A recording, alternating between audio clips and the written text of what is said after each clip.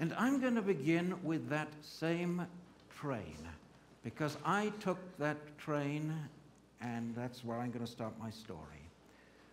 So, from Durban to Zimbabwe, that's Durban to Zimbabwe, the train journey takes three days. And it's a journey from the land of the Zulus, where my, where my mother and I were both born. And it goes past Pretoria, where my father was born, and past Kimberley, where my grandmother was born. The train was segregated into two sections whites and non whites, separate and unequal, because apartheid was in force. And I was leaving South Africa and going to the new multiracial university in Zimbabwe where all people are equal.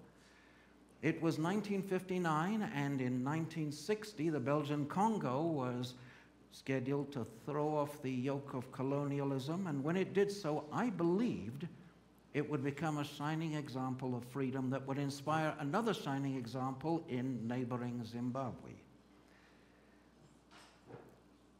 During the 1950s, South Africa was isolated. Except for my immediate family, nobody I knew had ever traveled outside South Africa.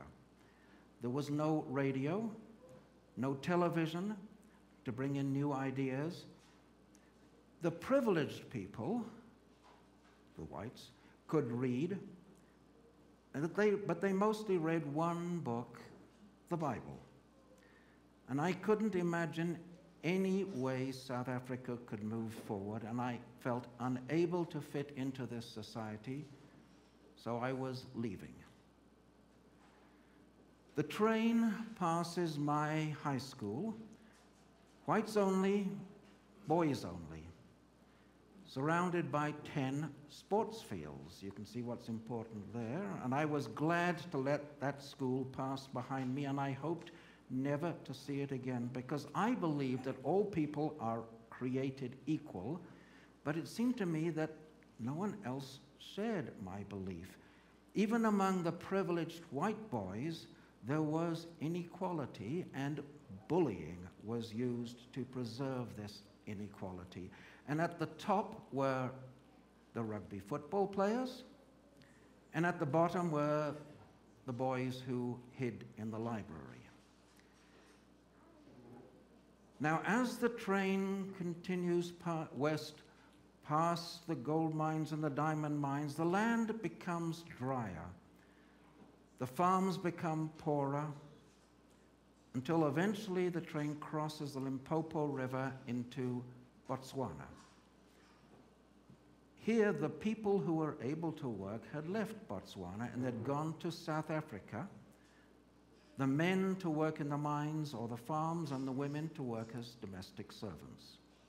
And those who were too old to work remained in this poverty stricken land, together with the young children who were sent by their parents from um, uh, to, sorry, sent by their parents from South Africa to be raised by grandparents in Botswana.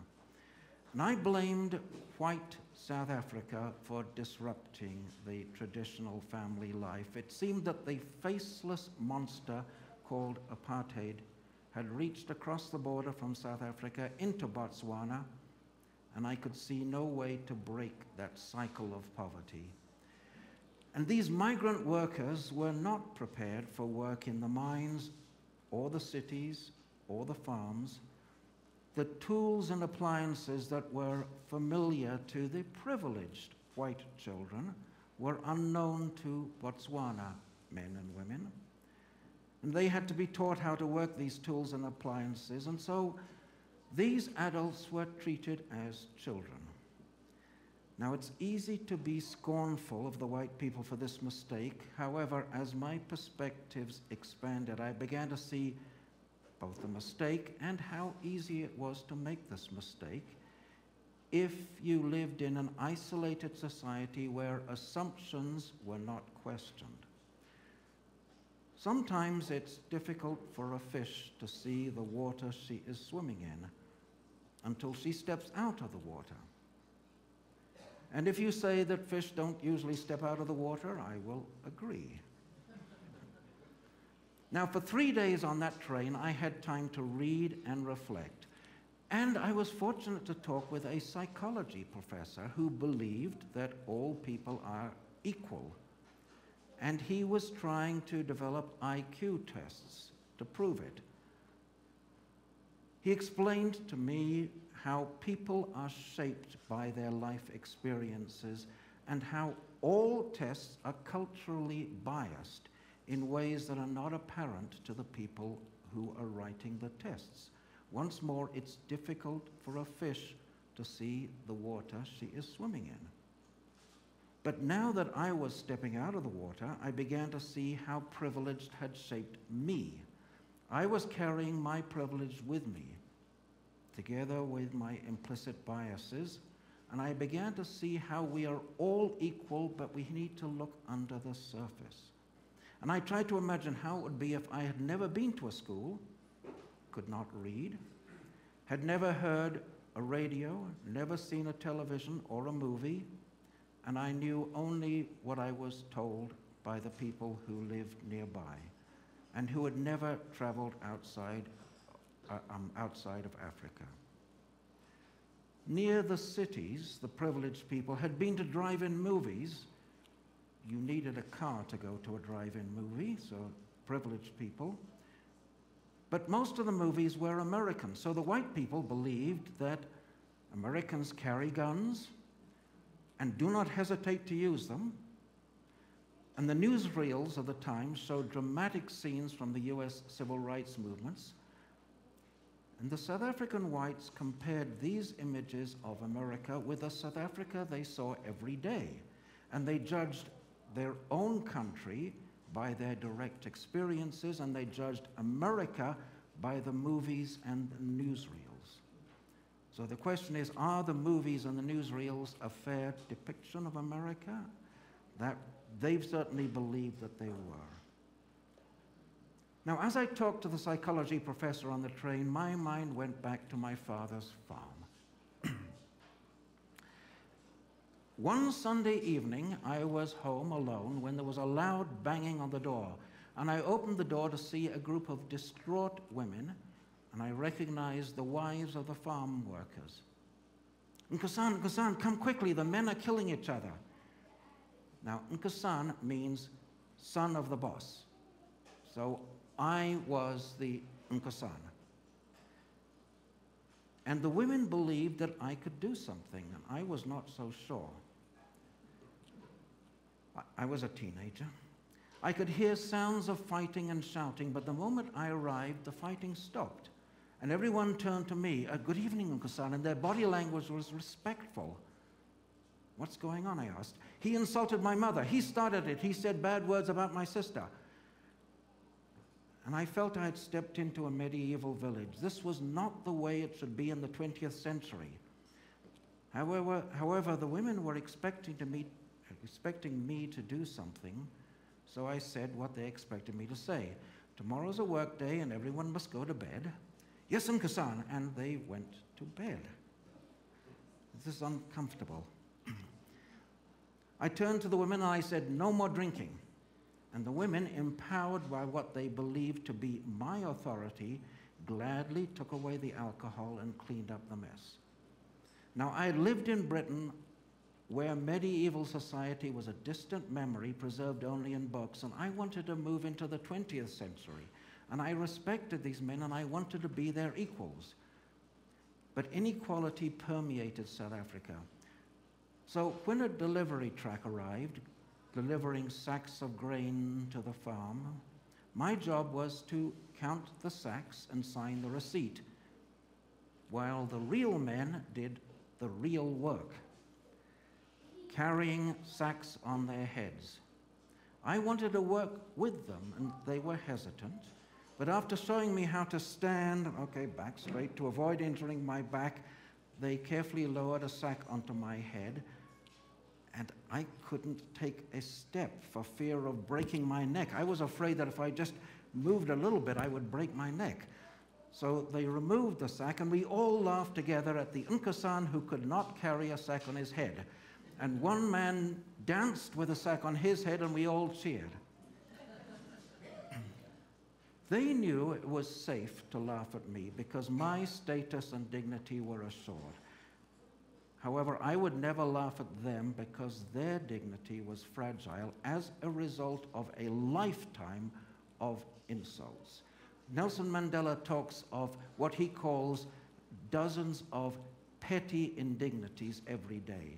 Now, if you add that up over a lifetime, it takes a toll.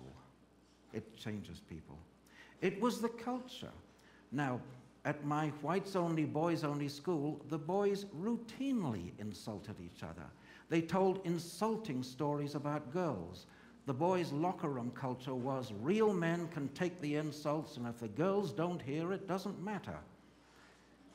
In contrast, the Zulu men fiercely defended the honor of their mothers and sisters and wives and girls because real men protect their women.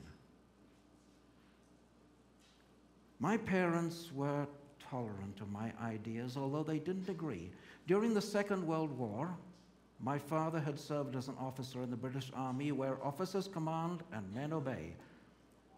But he did believe, like Nelson Mandela, he believed in the importance of education and he favored expanding the South African education system. But being a practical man, he noted that it would require five times the number of teachers and five times the number of teacher training colleges, and it would take time. My mother believed that the Zulus were different from the whites because they appeared to be different. And she had never met an educated Zulu, and she did not understand how education changes people. Now, I should add that my mother did change over time. She, uh, she did recognize and respect and admire Nelson Mandela, but that was later. um, so, oh, let me emphasize I don't believe that educated means better. But I agree with Nelson Mandela when he said education is the most powerful weapon which you can use to change the world. Education changes people. I could see myself in both of my parents, which was uncomfortable because as a teenager I wanted to break away. So I was glad to be on that train as it moved slowly through the Botswana wilderness. That was in the 1950s. In 1969, Kok Young and I were married, and we wrote to the South African authorities to ask if we could visit South Africa, and the answer was yes, but you will not be allowed to share a bedroom because that is a violation of the apartheid laws. So we went to California, where the laws forbidding marriage between whites and Chinese had been struck down by the Supreme Court in 1967. America was changing. Now, in his Nelson Mandela again, in Africa, the seeds of change were growing in places that I did not see. Nelson Mandela received an education from Methodist missionaries, and he believed that the missionaries were a positive influence. He always believed in education, and he liked the missionaries. And Desmond Tutu also received his education from missionaries and with the support of these missionaries, he continued his studies in London. And in 1986, which is eight years before the end of apartheid, he became Archbishop of Cape Town. there he is as an Archbishop. In South Africa, as in most of the British world, the schools are associated with a church. And so when policies were changed with the leadership of the Archbishop, thousands of teachers began to change society. Then in 1976, for the first time, television came to South Africa. 1976, that most of us remember television before then. The most popular TV show was The Cosby Show. Anyone remember The Cosby Show? All right. Um, and that was equally popular with whites and non whites. And for the first time ever, all of the people in South Africa, whites and non whites, saw that there was another way of living together. And that was an eye opener to so many people. And then in 1981, my father wrote to say that South Africa was changing. Nelson Mandela summarized it well, I think. He said, The people in power sensed they were on the wrong side of history. And this change took a long time. And the Member of Parliament of my father's district assured him that Kok and I would be welcomed, so we booked our 32 hour journey to South Africa. And while we were waiting in the arrival hall, we heard an announcement Would the McNaughton family please identify which line you're in? So I raised my hand and I saw an immigration officer hand a letter from the Member of Parliament to the officer at the front of our line. Privilege, this time based on our passports. At this time, Nelson Mandela was still in prison. It would be 13 more years before he was elected president. Apartheid was still the law, but it was no longer enforced. Non whites were moving into white neighborhoods if they had the money to buy a house or pay the rent. Some of the white schools were accepting non white students if they could afford the fees. education, okay, there, that is my high school. That's the high school I went to. I recognize the school uniform. You could reasonably ask, why so few? Answer is because of the school fees.